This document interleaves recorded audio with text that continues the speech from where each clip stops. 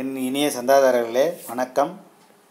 தமிழ்நாடு ஊரக வளர்ச்சி மற்றும் ஊராட்சித்துறை அலுவலக உதவியாளர் பணிக்கான விளம்பர அறிக்கை வந்துள்ளது.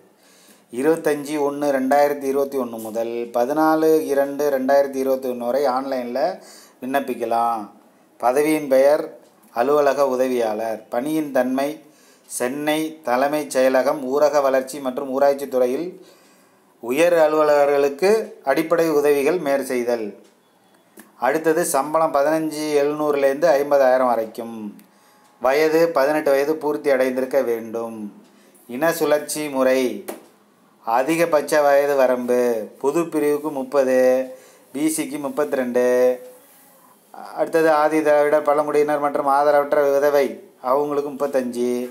முன்னாள் இராணுவத்தினர் ஆதி திராவிடர் பழங்குடியினர் மற்றும் பிற்படுத்தப்பட்ட வகுப்பு அவங்களுக்கு ஐம்பத்தி மூணு முன்னாள் இராணுவத்தினர் ஆதி திராவிடர் பழங்குடியினர் மற்றும் பிற்படுத்தப்பட்ட வகுப்பு அல்லாதோருக்கு நாற்பத்தெட்டு மாற்றுத்திறனாளிக்கு அதிகபட்சமாக பத்து ஆண்டுகள்.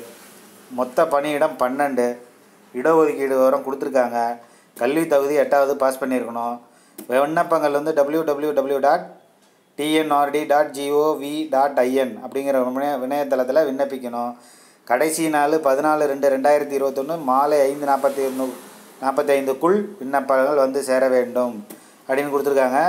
மேலும் விவரங்களுக்கு அந்த சொல்லப்பட்ட அபிஷியல் வெப்சைட்டுக்கு போய் நோட்டிஃபிகேஷன் பிடிஎஃப் இருக்குது அதை கிளிக் பண்ணி ஃபுல்லாக படித்து பாருங்கள் படித்து பார்த்துட்டு அதில் கொடுத்துருக்கக்கூடிய விதிமுறைகளை பயன்படுத்தி விண்ணப்பிங்க. மற்றபடி ஆன்லைன் அப்ளிகேஷன் தான். ஆன்லைனில் நீங்கள் அப்போயே அப்ளை செய்யலாம். அப்ளை பண்ணிவிட்டு உங்களோட விவரங்களெல்லாம் அதில் அதில் வந்து என்ன சொல்லப்பட்டிருக்கோ அந்த விவரங்களை எல்லாத்தையும் பதிவு பண்ணிவிட்டு சப்மிட் பண்ணிவிட்டு நீங்கள் உங்களோட உங்களுக்கு தேவைன்னா ஒரு பிரிண்ட் அவுட்டை எடுத்து வைத்து கொள்ளுங்கள்.